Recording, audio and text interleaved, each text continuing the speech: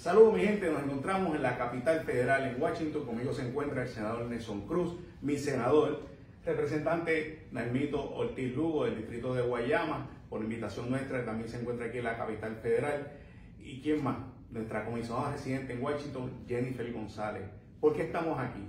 Una petición bien importante. Nosotros los puertorriqueños, para poder transportar nuestras armas de un lugar a otro, entiéndase Puerto Rico, a cualquier estado de la nación americana, necesitamos solicitar, por ejemplo, la licencia de la Florida para poder transportar las mismas. ¿Por qué? Porque Puerto Rico no tiene reciprocidad con ningún estado de la nación americana. Esta preocupación hay que traérsela a quién más, a nuestra comisionado, la que dice y donde pone la palabra, ahí está la acción. Comisionado. Primero que todo, bienvenido. Gracias. Bienvenido a nuestra oficina aquí en Washington, a nuestro representante Narmito, a nuestro ex senador y siempre senador Nelson Cruz. Para mí es un privilegio recibir ¿verdad? a Codepola eh, y no sin antes felicitarlos a ustedes por lo que han estado haciendo, haciendo esos talleres educativos eh, para tratar de evitar los, casos de violencia doméstica con tantas mujeres que están acudiendo y que hayan reclutado a la ex gobernadora eh, para hacer muchas de estas cosas. Así que reconociendo sus 17 mil socios ¿verdad? y la petición que nos hacen de que haya reciprocidad en las leyes que permiten el, el tránsito de armas de fuego a personas, a ciudadanos normales que cumplen con la ley y tienen su propia eh, ley, porque muchos de los delitos que ocurren no ocurren con personas que tengan una licencia de armas o deportación, ocurren con personas que están fuera de la ley, que no cumplen con estos requisitos. Eh, yo tengo mi arma de fuego y también cumplo con la ley, y así que la petición que nos hace Codepola hoy eh, de que haya una reciprocidad entre Puerto Rico y el resto de los estados, un asunto que se ha radicado en proyectos en el Congreso, que es el HR 38, radicado por 182 republicanos y 3 demócratas, así que esto es un proyecto bipartita, que ahora, luego de la reunión, pues nosotros vamos a estar coauspiciando también, eh, porque entendemos que eh, es justo que haya una reciprocidad entre los estados y que tienen una ley de armas eh, para poder cargar su, su arma de defensa.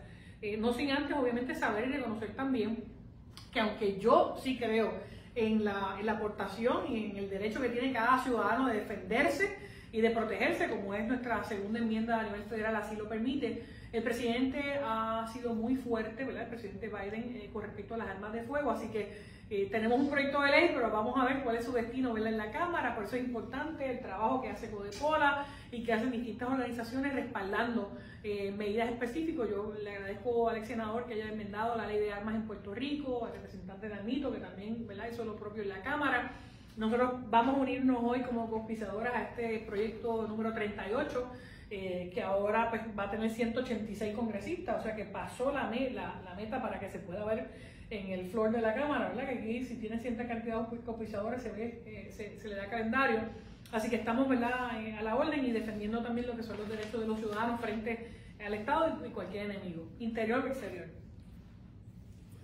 Gracias, ¿verdad? No sé si Nelson No, agradecer a la comisionada porque preside el cauto de la mujer y ha estado en la isla bien vanguardista con relación a lo que es el asunto de la violencia doméstica, la violencia de género. Así que Jennifer, a nombre de todas las damas y ¿verdad? del pueblo de Puerto Rico, gracias por esa oportunidad y por siempre hacer lo correcto y recibirnos aquí como, como en nuestra casa. Así que gracias y Dios siga bendiciendo. Gracias.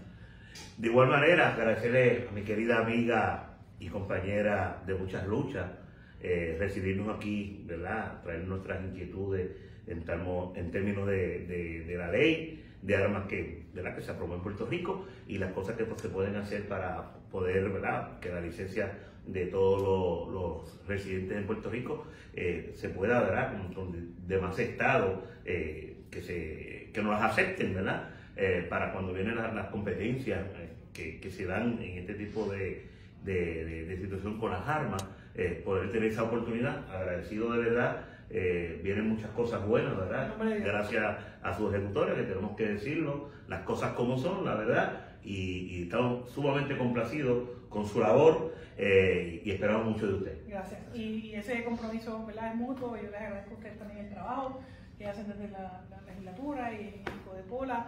Eh, así que gracias a todos. Y tú, vas, tú, tú cierras de una manera especial. Ah, sí, sí. Eh, bueno, voy a cerrar parte, pero le voy a dar la oportunidad a usted, que le pida la bendición a mi mamá. Ok. Haz el bien y no mires a quién. Bendición, mami.